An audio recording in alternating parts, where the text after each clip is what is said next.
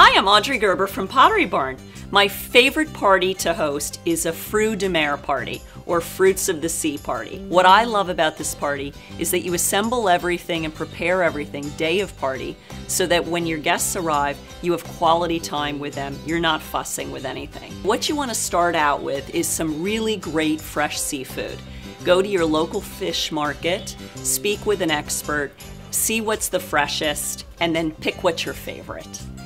I have a beautiful three-tiered stand. It's the only decor you're going to need. The food does it all. I also have placed a tray right below the stand because it will catch any condensation from the melting ice. I'm starting out with some shucked oysters that I'm going to layer in to my bottom tray.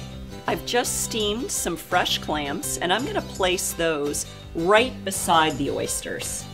My next tier, which is my largest tier, I'm going to highlight these beautiful Dungeness crabs.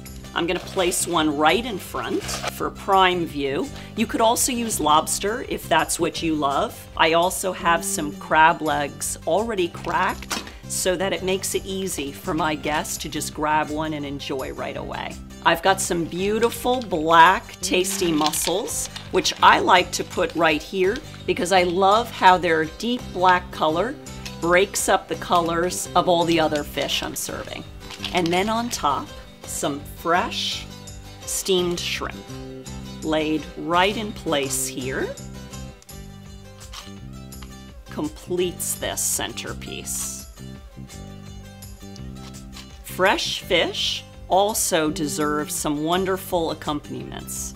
So I've got some cocktail sauce, which I could nestle right here, and then some tasty accompaniments. Some cocktail sauce, maybe some melted butter, some aioli, or some tartar sauce. Just sprinkle in a little bit of seaweed.